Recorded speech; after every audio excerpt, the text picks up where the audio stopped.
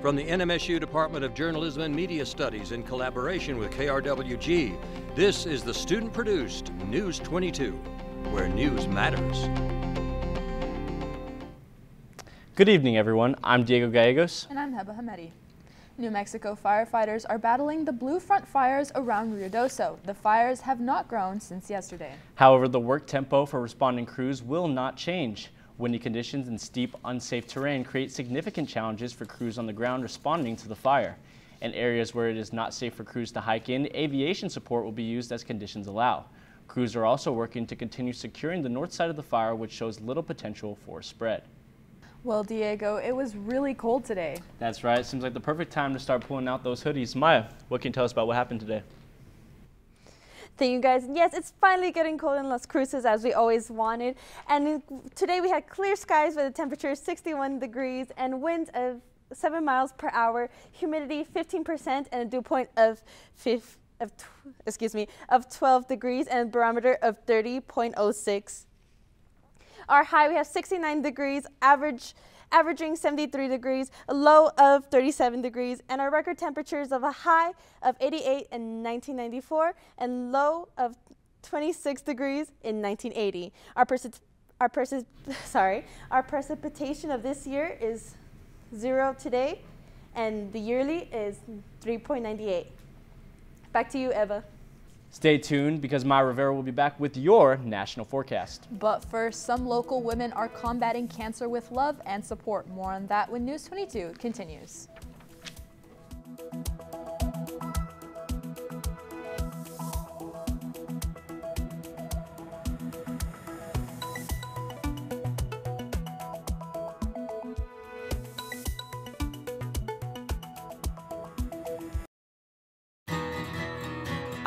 The waves of grain and the fruited plains. The food traditions that shaped this nation. This really is a labor of love. Are being preserved. Such an important story in one bowl. And rediscovered. On America, the Bountiful. Monday at 2 p.m. on KRWG Public Media. Warming hearts with pie, oh, right? Cheers yeah. to that. Hop, and then we run, run, run together. Okay, it's not too bad. Hi. Hi. Hi, buddy. All that and more on Finding Festivals. Cheers to that. Cheers to that. Thank you. Cheers. Sunday at 10 p.m. on KRWG Public Media.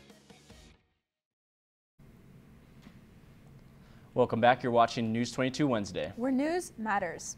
Early October marked the second annual Cancer Warriors Week, a week of fundraising events to raise money for women with breast, ovarian, and uterine cancer. That's right, Diego. It's organized by Cancer Warriors of Las Cruces, a group of six women who use their journeys with cancer to make sure others facing the same diagnosis don't feel alone. Leah De La Torre has more.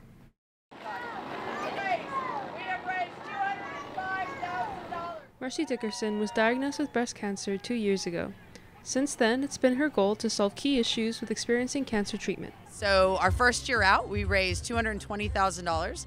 This year, with Cancer Warriors Week, which we are wrapping up with the 5K, we have raised just over $205,000. That money was raised by bringing the community out to dance, enjoy music, and dress up for a live auction. It ended off one early Saturday by crossing the finish line in a 5K.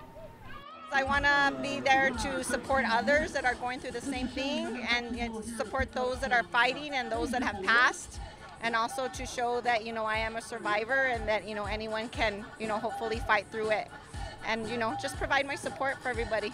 Cancer Warriors also provides warrior boxes which medical providers can hand out and they come equipped with goodies like gift cards and self-care items to help women along all stages of their cancer journey. Along with these warrior boxes, Cancer Warriors, in collaboration with Memorial Medical Center, launched Mammos to Answers, a program that speeds up the process of diagnosis to just 21 days. In Doña Ana County, it usually takes three and a half to four months to be diagnosed with breast cancer. That is months of agony. That's months of waiting. And I decided that that was unacceptable. Marcy has been cancer free as of April last year, but her journey as an advocate will not stop anytime soon. Cancer Warriors continues to bring Las Cruces a little bit more hope. Leah de la Torre, News 22. And Maya is next with the national weather forecast. Thanks, guys. Let's go ahead and take a look at our national weather map.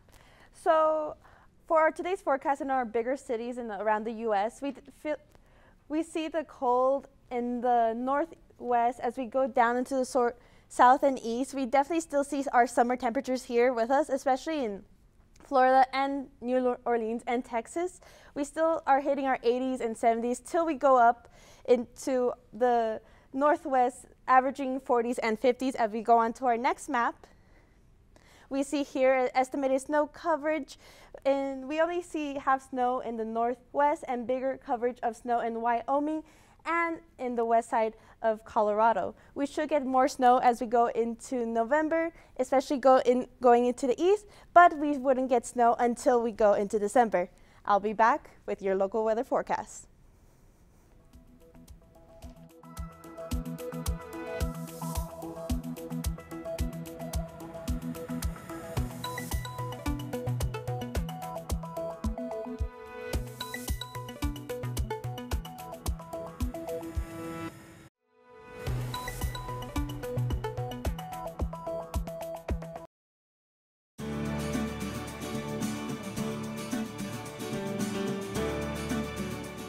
I'm Eric Johnson, host of Garden Smart.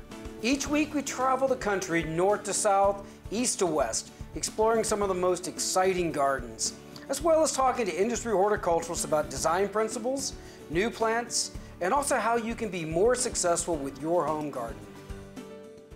Saturday at 2:30 p.m. on KRWG Public Media.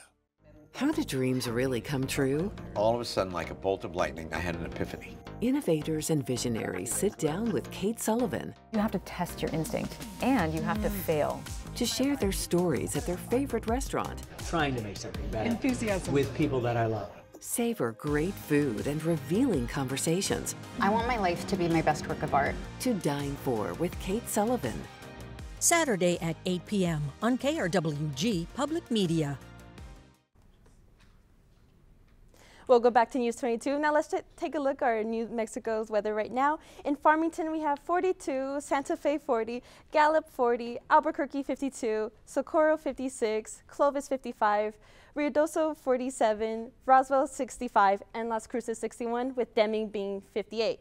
Now with Halloween coming tomorrow, we still have the cold temperatures so make sure have your little ones wear their jackets as they go trick-or-treating because Farmington is at 57 a high, 56 in Santa Fe being your high, Albuquerque 61, 66 in Socorro, Clovis 66, Ruidoso 61, Roswell 69, 74 in Las Cruces, and Deming 71. In Alamogordo tomorrow we have 30, tonight at 35 with clear skies, and tomorrow 70 being your high with clear skies once again. Truth or consequences, 37 being your low tonight with clear skies, and 71 being your high with clear skies tomorrow. Silver City, we have 33 being your clear skies, being our low tonight, and tomorrow are 69 with our high of clear skies. For Las Cruces tonight, we have 37 with our lowest with clear skies, and tomorrow 74 with our highest. That's all I have for you for now. Back to you, Heba. Diego, I heard that game last night was brutal with the Aggies. Yeah, I watched it. Not the best performance for the Aggies. Ben, what happened last night? Not the best performance was probably an understatement. Coming up on News 22, New Mexico State faced a major loss against FIU, and we're going to recap it. More on that when News 22 continues.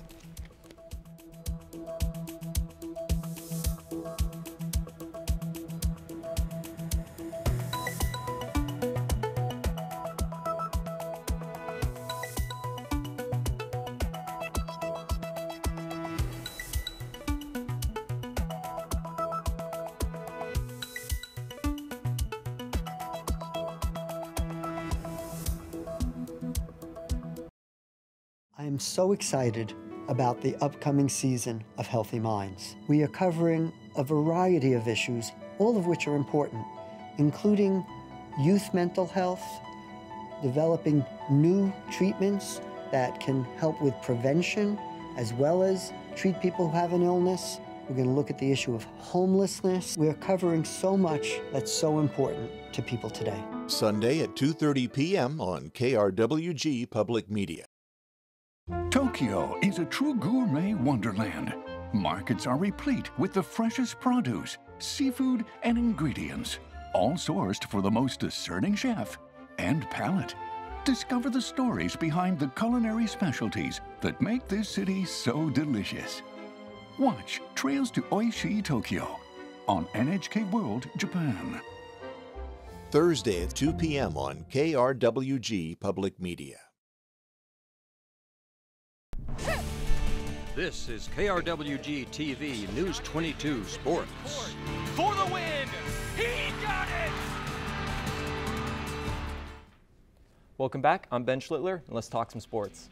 Midweek CUSA football action just wrapped up, and the Aggies didn't end it with a bang because they got clobbered against FIU on the road.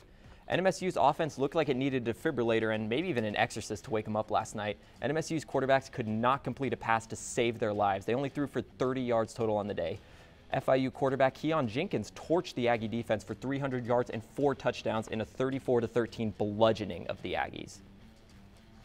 The soccer team season is wrapping up on, on Halloween with the renewal of the Battle of I-10 with NMSU versus UTEP. The Aggies are on a hot streak with three wins in a row to go alongside Loma McNeese breaking the NMSU all-time goal record, and they sit in third place in the CUSA and have high hopes of making their second NCAA tournament in three years. The game kicks off at 6 p.m. at the NMSU Soccer Complex, so if you don't have plans, you can start off your Halloween with the Aggies. Well, the high school football season in Las Cruces has wrapped up, and as we look back on the season, it's the same old, same old, with Centennial on top and Organ Mountain on the bottom.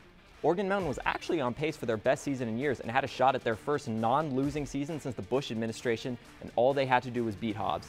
However, the Knights got mercy ruled against Hobbs 56-6 to finish 4-6. At least they got basketball.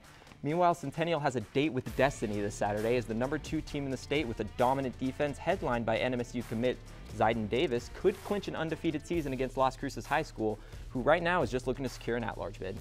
That's all for sports tonight. Join us tomorrow for more sports action. Still ahead on News 22, Maya will be back to take a look at your five-day forecast.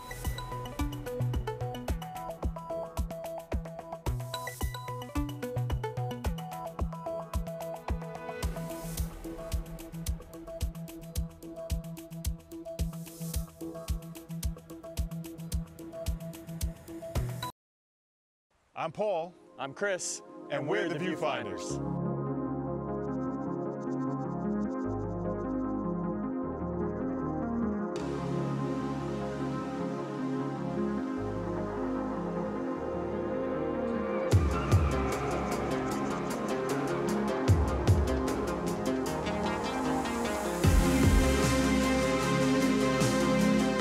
Sunday at 11 p.m. on KRWG Public. If your watercolor came to an auction, it would probably sell for between $1,000 and $1,500. Whoa. Yeah. Not bad for two bucks. Now that's money well spent. Your investment in this PBS station brings Antiques Roadshow into your home each week. Call, text, or go online to give now. I think I'm gonna be rich.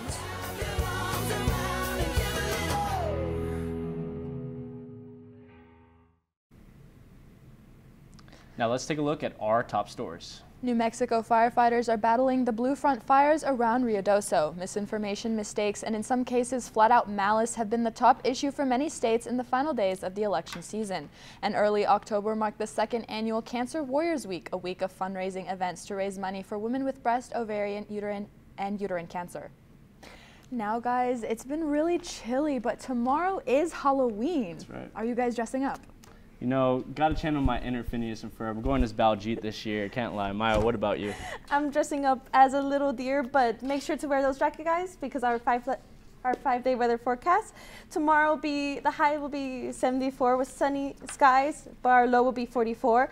On Friday we'll have sunny skies again with a high of 80 of 78 and 47 being our lowest. On Saturday, once again, clear skies with 79 being your highest and 49 being your lowest. On Sunday, we finally have mostly clear skies with 70 being your high and 42 being your lowest. And on Monday, we'll have a little bit more of a freeze with 64 being your high and 34 being your lowest. Thanks, Maya. And that's all for News 22 Wednesday. Thank you, everyone, for joining us here tonight. Tune in tomorrow night for more news. I'm Diego Gallegos. And I'm Heba Hamedi. And from the whole News 22 team, Diego, Maya, Ben, and myself, have a great night.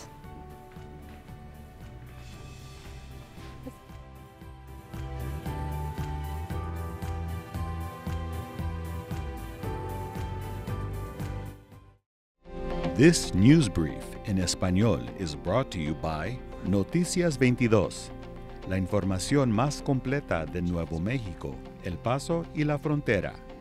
Noticias 22. Buenas tardes, yo soy Jade Matarnelas con las breves de hoy en Noticias 22. Por todos los Estados Unidos han ocurrido casos de desinformación, errores y atentados durante la temporada de votaciones. Algunos de estos casos incluyen ataques, incendios a, algunas cajas de votación y buzones postales en al menos tres estados. Investigaciones están en curso y sospechosos aún en libertad. Además, dos funcionarios electorales de estados claves afirman que a pesar de la preocupación de la prensa, confían en que el recuento de votos será seguro y exacto. Se les recuerdo a los televidentes de Nuevo México que votas anticipadas acabarán este viernes y las votaciones oficiales es el 5 de noviembre. Los senderos de South Fork y Blue Front ya se han considerado como zonas para la contención del incendio forestal de ruidoso. Oficiales declararon que se usaron más de 600 galones de agua a la vez, equipos de extracción de emergencia y helicópteros para tratar de apagar el fuego forestal. Los equipos también están trabajando para asegurar el lado norte del incendio que muestra poco potencial de propagación. Aunque el fuego en estas áreas no ha tenido ningún crecimiento, el ritmo de trabajo para los equipos de respuesta no va a cambiar. Se le informa a los residentes del Lago Bonito deben de estar preparados para una posible evacuación. Eso fue todo por mi lado hoy. Que no se les olviden seguirnos en las redes sociales en Instagram, Facebook y YouTube. Que tengan una linda noche.